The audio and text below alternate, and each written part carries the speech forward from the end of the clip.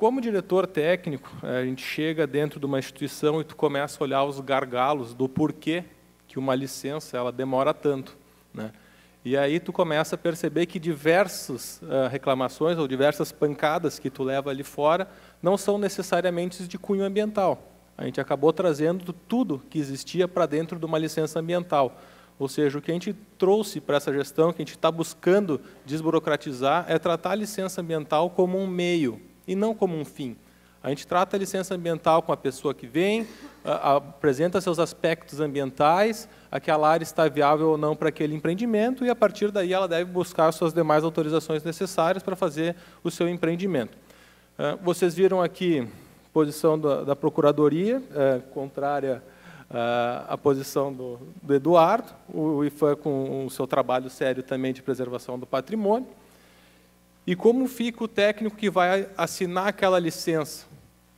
Todo mundo dizendo uma coisa, e aí a gente tem lá 30% da demanda do órgão ambiental sendo uh, do Ministério Público, do Poder Judiciário. A FEPAM, inclusive, tem um, uma divisão específica para responder ao Ministério Público e do Poder Judiciário. E o técnico sozinho na ponta, que esperando qualquer deslize, se ele errar, é ele com o CPF dele que vai lá na frente do juiz dizer se estava certo ou se estava errado. Então, o que, que a gente buscou ao editar uma resolução? Bom, tem um posicionamento, tem outro posicionamento, mas nós vamos definir que tipo de posição nossos técnicos vão adotar. Se não concordarem, questionem a regra, a regra nós temos uma banca de advogados para defendê-la, ou o conselho, como é o caso das nossas. Ah, então, a partir disso, ah, dentro da própria FEPAM tinha diversos entendimentos, alguns setores pediam ah, o IFAM, outros setores não pediam o IFAM. Bom, vamos ver, vamos discutir como é que a gente pode resolver. A partir daí entrou os municípios, cada município apavorado, bom, eu quero fazer, eu não quero fazer, eu vou fazer, não vou fazer. Então era município divisa, uma obra de um lado pedia, a obra do outro lado não pedia. Enfim, levamos isso para a Federação dos Municípios, vamos construir uma regra do Conselho Estadual do Meio Ambiente, que é onde tem capacidade de deliberar, e essa deliberação vale para os municípios também. O Estado do Rio Grande do Sul tem uh, uma lei estadual, que criou o Sistema Estadual de Proteção Ambiental. Dentro dessa lei, uh, dá bem as, as atribuições de cada um dos entes. Ou seja, o órgão superior e deliberativo e normativo do sistema estadual é o Conselho Estadual de Meio Ambiente. A partir de uma deliberação, a partir de uma regra criada por ele, nenhum dos outros entes executivos, como a FEPAM, pode discordar. Ou seja, eu não, discur, não discordo de nada do que está naquela regra posta, não me cabe a nada do que além de cumprir ela. E assim aos funcionários. Ou seja, se qualquer um daqueles casos uh, tiver um questionamento específico, não é mais específico em processos de licenciamento, com seus pareceristas, e sim em cima da regra, porque todos seguem aquela regra. Então, a partir daí, a FEPAM conseguiu uh, liberar, ou assim dizer, uh, conseguiu avançar com seus processos, e a gente criou uma regra que ela trata de colaboração com o IFAM. A gente entendeu e assumiu que uma IN ela serve somente para seus signatários. A FEPAM e os municípios não foram signatários dessa IN e, portanto, não deveremos cumpri-la. Né? E foi assim que a FEPAM entendeu, ou melhor, o Conselho Estadual entendeu e deliberou para seus órgãos executivos. A partir daí, quando que a FEPAM aciona o, o IFAM?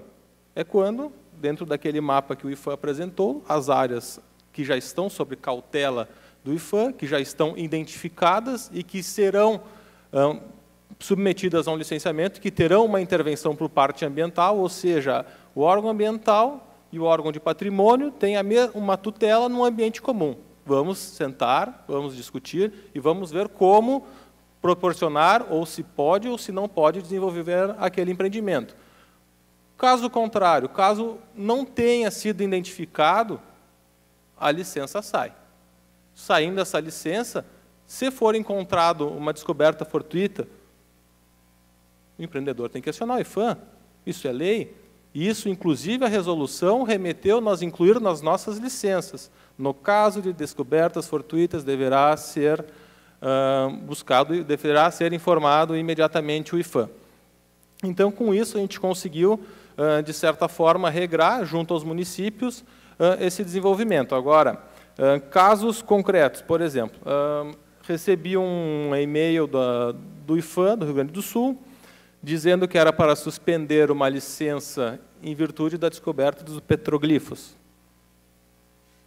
Ora bem, o IFAM tem seu poder de polícia, por que não suspender o IFAM ou embargar aquela obra do IFAM? Por que teria que ser a FEPAM em cima da sua licença ambiental?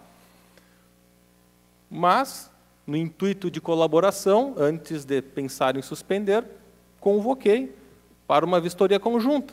Vamos lá, vamos ver.